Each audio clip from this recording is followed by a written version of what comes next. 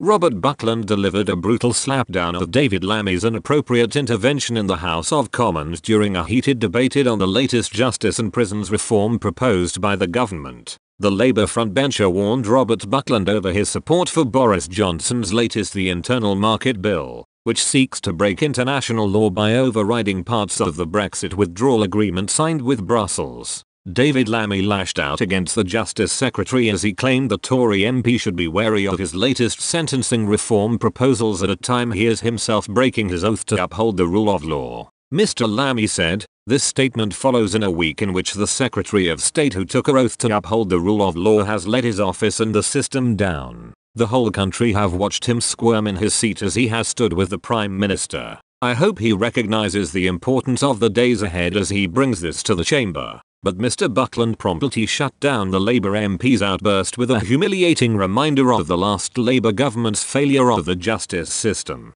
He blasted, it was all going so well and then the right honourable gentleman had to spoil it with an ill-judged, ill-timed and wholly inappropriate intervention. Can I remind him that as a practitioner for years I've had to endure a Labour government that passed with incontinence criminal justice acts after criminal justice acts that created the chaos that I am now having to deal with with this sentencing reform. I will take no lecture, with the greatest respect, from him about a Labour government that made automatic early release at halfway terms for so many sentences the law. That is the wrong that we are righting now as a result of the reform that we will introduce. Mr. Lammy could be seen in tatters on the opposite benches as he suffered the brutal response. Mr. Buckland said the government's proposed sentencing reforms aim to end the revolving door of offenders leaving prison only to commit further crimes. In a common statement, the Lord Chancellor said, these measures will keep offenders who pose a risk to the public off our streets for longer and help restore public confidence that robust sentences are executed in a way that better reflects the gravity of the crimes committed.